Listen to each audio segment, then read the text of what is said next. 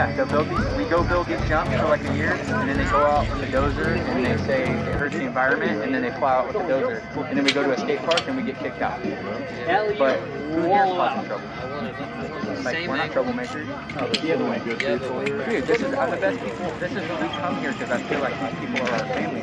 Yeah, you know, like that's my therapy. Like I don't go out and drink. I come here and I chat, get a couple laps, you know, and it's like I try to tell people. You don't go like, both. I'm I, I do to it. I do. I do. What No, they're gonna say, no, I wanna go I right. do. I- I I have a do. beer. He does. He does go. I'm done. I do. I do. Like rich kids. You don't know. Cool, right? Every a lot of kids. I do. I do. I do. I do. He can be out doing whatever he wants. I know. And if this wasn't here, he would be. Right. But this is where these kids are choosing to spend their time. Yeah. And that's like, I just don't understand why they wouldn't give us more of this, dude. Yeah, I think. Well, I think Temecula started it, and hopefully others will follow. Well, all the motocross, they're right here, dude. Like, I see them out here, like Red Bull athletes show up out here.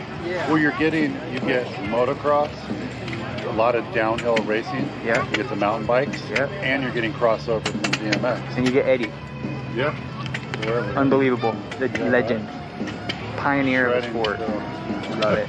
You gotta put some. Uh, Dude, see that picture I love those gold Dorsey? hubs. Right. You know what color I like? I like the bronze. All that bronze. So when you come to the, the pump track and you bring your own chair, you can just kind of hang out. Not, it's the hard part, getting back over. That was.